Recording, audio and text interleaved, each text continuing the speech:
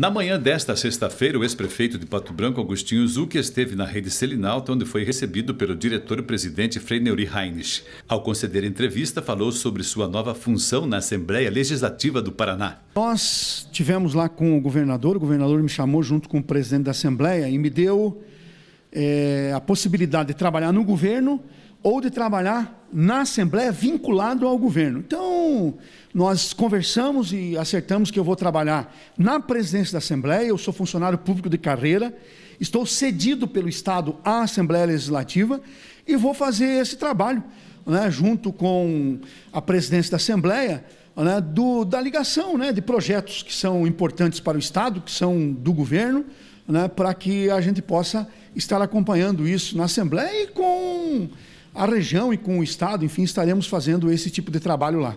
Um outro assunto abordado na entrevista com o ex-prefeito Zuc é a Lei de Incentivos, Lei Zuc, aprovada na época em que ele era deputado. Essa lei prevê benefícios para os municípios de dois vizinhos, Francisco Beltrão e Pato Branco, para o setor de tecnologia.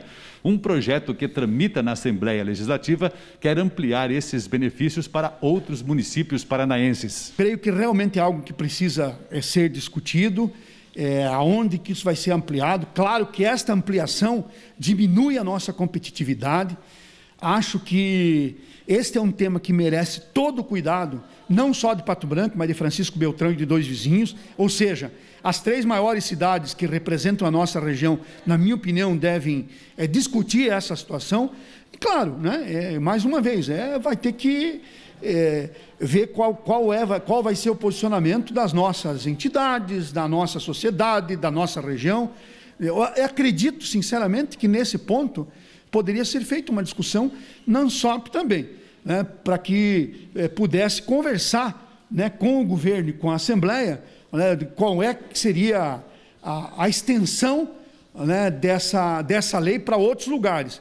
Se você tem aqui um diferencial através da lei e você coloca esse diferencial em outra cidade que tem maior poder de competitividade, porque são cidades maiores, mais industrializadas, com maior número de população, né, com infraestrutura melhor do que a nossa região, certamente que nós né, vamos perder em competitividade. Então, isso é algo que deva ser estudado né, e discutido junto a, ao governo do Estado, junto à Assembleia Legislativa. Questionado sobre o retorno das atividades normais em função da pandemia, Zuc, que teve a experiência de tomar decisões aqui no município quando o novo coronavírus surgiu, disse que tudo vai depender da imunização dos brasileiros. É uma questão difícil, né? essa questão do retorno das aulas. Eu creio que o fundamental e decisivo é trabalhar na questão da vacinação, a busca da vacinação de todas as formas. Né? Se o governo federal vai dar vacinação, ok né? Se a hora que abrir possibilidade de compra, por exemplo, de vacina, se abrir para o Estado, o governador Ratinho Júnior falou, quando ele foi na Assembleia nessa semana, que vai adquirir, se abrir esta possibilidade.